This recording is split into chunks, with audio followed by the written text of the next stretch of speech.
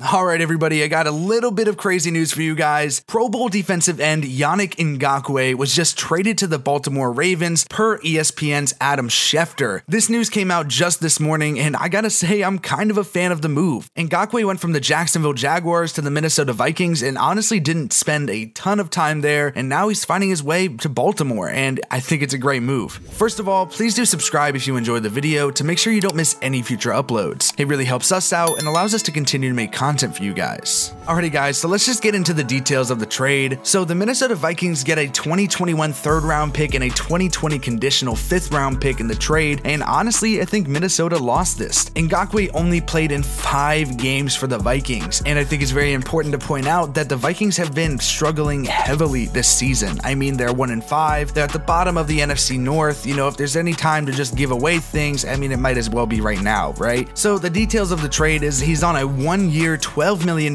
deal, and although I know that's not the craziest amount of money, Ngakoue is going to go to a team that is a Super Bowl contender and 100% is going to contribute to that defensive line that also hosts the big name of Calais Campbell. So, like I just said, Ngakoue's only played five games for the Vikings, which means that the Vikings traded away a 2021 second round pick and a conditional fifth round pick to the Jacksonville Jaguars back on August 31st to acquire Ngakoue, and it's only been five games, and he's already gone. He's in Baltimore now. So the Vikings almost broke even from moving to the second to the third round, and I just think, was it really worth it, Minnesota? I mean, Ngakoue was there for five games, and it just wasn't a match made in heaven, and he just needed to go somewhere else. I mean, what this really tells us is that the Vikings are just giving up on the season. I mean, at this point, when you're one in five, the bottom of your division, do you really have faith in your team to come back? Now, I'm not hating on the Vikings. My dad's a Vikings fan. You know, I always want to support the purple and gold, but it just does not look like this season is going to go well for them. And it's also important to note that the Ravens have attempted to get Ngakoue multiple times in the recent months, per Adam Schefter as well. So I'm glad that the Ravens were able to finally acquire Ngakoue. However, it was at the detriment of the Vikings, and you know, I kind of feel bad for them. But at the same time, you know, Ngakoue is going to be in a better place on a better def to bulk up this defense in order to be contenders against, you know, the Chiefs and other teams that are going to be running for the AFC. So this trade shows us 100% that the Ravens are all in, and I'm excited to see it. You know, I like this Ravens offense, I like this Ravens defense, but the addition of Ngakoue is just gonna be crazy. Like I said, I brought his name up multiple times, but like Calais Campbell and Ngakoue on the same line, that's just dangerous. Like offenses around the league are going to have to fear those two because Ngakoue is arguably, in my opinion, one of the best pass rushers in the league that we see today, and it's just gonna be a dangerous collaboration between those two. So I'm really excited to see that. And of course, you know, they're gonna be meeting back up together and like, you know, they were already teammates before with the Jaguars. And I mean, they led the Jaguars to the AFC Championship in 2017. I know that seems completely false, that statement, because the Jaguars are just so far out of contention for anything like that nowadays. But they did. Back in 2017, these two were really great and just helped that team make it there. What's even crazier is Ngakoue is only 25 years old. This man is young, this man is able, and he's able to make some amazing plays because of that. This is absolutely the perfect situation for Ngakoue because if you did not know this, Ngakoue actually grew up in Bowie, Maryland and attended the University of Maryland. So, I mean, he's coming back, he's going to be a hometown hero and he's going to show out for his state. So, the most recent news that we have on this trade is that, you know, he's going to be flying to Baltimore to get tested for COVID before he officially joins the Ravens. And I mean, unfortunately, we're not going to get to see him suit up this weekend because the Ravens do have a bye, but he will, if everything goes right, make his debut in week 8 against the Steelers. Dealers, and I am just so stoked to watch Calais Campbell and Yannick Ngakoue play again on the same defensive line. This is just going to be awesome, guys. Let me know down in the comment section below what you guys think about this trade. If you're a Vikings fan, I am so sorry. Thank you guys so much for watching. Make sure to subscribe if you do enjoy, and if you want to stay up to date with Jackson and I, follow us on Instagram and Twitter. We love interacting with you guys and appreciate all of the support.